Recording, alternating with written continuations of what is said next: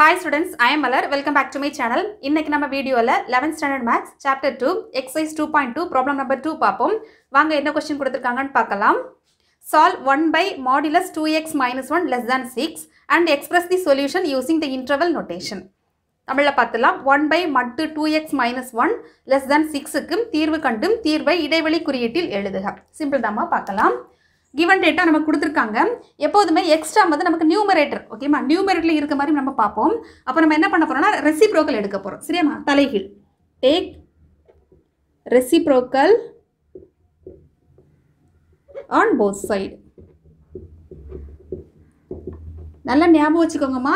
நம்ம இந்த மாதிரி இன்இக்வாலிட்டியில் ரெசிப்ரோக்கல் எடுக்கும்போது எடுக்கும்போது சரி தான் மைனஸாக கன்வெர்ட் பண்ணும்போது சரி தான் அதோட இன்இக்வாலிட்டி சேஞ்ச் ஆகும். சரியா? சைடில் எழுதிக்கோங்க. ரெசிப்ரோக்கல் ரெசிப்ரோக்கல் எடுக்கும்போது வந்து இன்இக்வாலிட்டி சைன் சேஞ்ச் ஆகும் ஓகேமா சேஞ்ச் தி டைரக்ஷன் அது என்னங்கிறது நான் இப்போ சொல்லித்தரேன். இப்போ பாருங்கள் நம்ம இதுக்கு ரெசிப்ரோக்கல் தலைகள் எடுக்க போகிறோம் அப்போ டூ எக்ஸ் மைனஸ் ஒன் வந்து நியூமரேட்டருக்கு போயிடும் இல்லையா? டூ எக்ஸ் மைனஸ் ஒன் இப்போ பாருங்கள் சிக்ஸ் வந்து எப்படி மாறும்? தலைகள் எடுக்கும்போது ஒன் பை சிக்ஸாக மாறும். இந்த இடத்துல இதுதான் இதை வந்து நமக்கு இன்இக்வாலிட்டி இல்லையா? இது நமக்கு எப்படி மாறும் பாருங்கள் இந்த டைரக்ஷனில் மாறும். புரியுதாமா ஏன்னா நம்ம ரெசிப்ரோக்கல் எடுத்திருக்கோம் அதனால். இப்போ நம்ம நார்மலாக பண்ணலாம். இப்போ பாருங்கள் நமக்கு ஒரு ஃபார்முலா இருக்குது. அந்த ஃபார்முலா பிரகாரம் நம்ம ப்ரொசீட் பண்ணலாம்.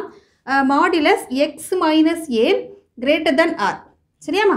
கிரேட்டர் தென் ஆர் இங்கே வந்து ஆர் வந்து கிரேட்டர் தென் ஜீரோவாக இருக்கணும். அப்படி இருந்துச்சுன்னா ஃபார்முலா என்னமா x less than minus minus r and x greater than plus r இது நம்ம வந்து ஓகேம்மா? இப்போ நம்ம அதை ஸ்ப்ளிட் பண்ணி எழுதிக்கலாம் பார்ப்போம். நம்ம ஸ்ப்ளிட் பண்ணி எழுதும்போது இந்த மாடுலஸ் நமக்கு போயிடும் சரி நம்ம மட்டு வந்து நமக்கு போயிடும் modulus six minus one less than minus one by six இதில் நம்ம ஸ்ப்ளிட் பண்ணிக்கலாம். அதே மாதிரி two x minus one greater than one by six நம்ம ஃபார்முலா அப்ளை பண்ணியிருக்கோம். இப்போ நம்ம இதை சிம்பிளிஃபை பண்ணலாம். Two x less than minus one by six plus one இதுக்கு நம்ம எல்சியம் எடுக்கலாம். எல்சியம் எடுத்தால் என்ன வரும்? மைனஸ் ஒன் ப்ளஸ் சிக்ஸ் அப்போ two x less than five by six ஓகேம்மா அப்போ x less than five by six into two அப்போது x less than five by twelve இது நமக்கு ஒரு ஆன்சர் கிடச்சிருக்கு. இது வந்து ஒரு ஒரு செட் இப்போ இதை இதுக்கு கண்டுபிடிக்கலாம். இப்போ two x greater than one by six plus one இப்போ டூ எக்ஸ் அப்படி இருக்கட்டு இதுக்கு நம்ம எல்சிஎம் எடுத்தால் என்ன வரும்? சிக்ஸு அப்போ ஒன் ப்ளஸ் சிக்ஸ் இல்லையாம்மா அப்போ two x greater than seven by six இப்போ நம்ம எக்ஸ் வேல்யூ தானே வேணும்? அப்போ செவன் பை சிக்ஸ் இன்ட்டு டூவாக மாறும். அப்போ x greater than seven by twelve அவங்க குறியீட்டில் ரெப்ரசன்ட் பண்ண சொல்லியிருக்காங்கம்மா குறியீடுனா ஃபஸ்ட்டு நம்ம நம்பர் லைன் ட்ரா பண்ணிக்கலாம். ஓகேவா இந்த நம்பர் லைனில் இது வந்து பாசிட்டிவ் இன்ஃபினிட்டி இது நமக்கு மைனஸ் இன்ஃபினிட்டி ஓகேமா இதில் நமக்கு என்ன இருக்குது வேல்யூ இருக்குது five by twelve and seven by twelve இல்லையா?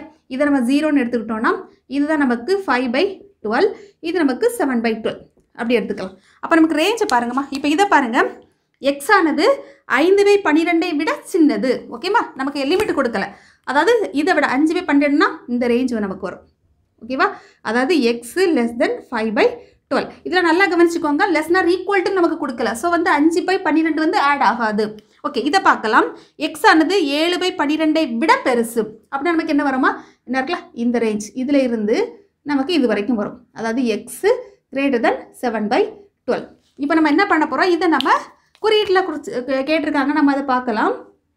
இது பார்க்கலாம். இப்போ அப்போ எக்ஸ் பிலாங்ஸ் டு இப்போ பாருங்கள் லிமிட்ஸ் நம்ம மொத்தமாக எழுத போகிறோம் மைனஸ் இன்ஃபினிட்டி எப்போதுமே மைனஸ் இன்ஃபினிட்டிக்கு இந்த மாதிரி ப்ராக்கெட் தான் வரும். சரியா? ஓப்பன் ப்ராக்கெட் அப்போ minus infinity comma five by twelve இதில் நல்லா கவனிச்சுக்கணும்.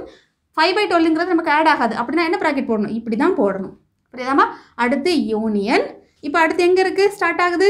நமக்கு செவன் பை டுவெல்லும் ஆட் ஆகுது. ஏன்னா greater than or equal to புரியுதா? கிரேட்டர் தான் மட்டும் தான் கொடுத்துருக்காங்க கிரேட் கிரேட்டர் தான் ஈக்குவல் டு கொடுக்கல.